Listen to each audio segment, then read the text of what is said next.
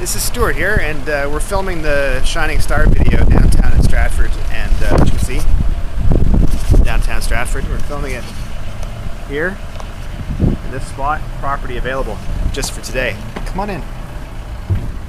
So this is the space now, and uh, we're going to convert it into a little bit of a portable um, filming studio. Uh, Terry Mans is on our way, and we have donuts. So that's all that matters. So, see?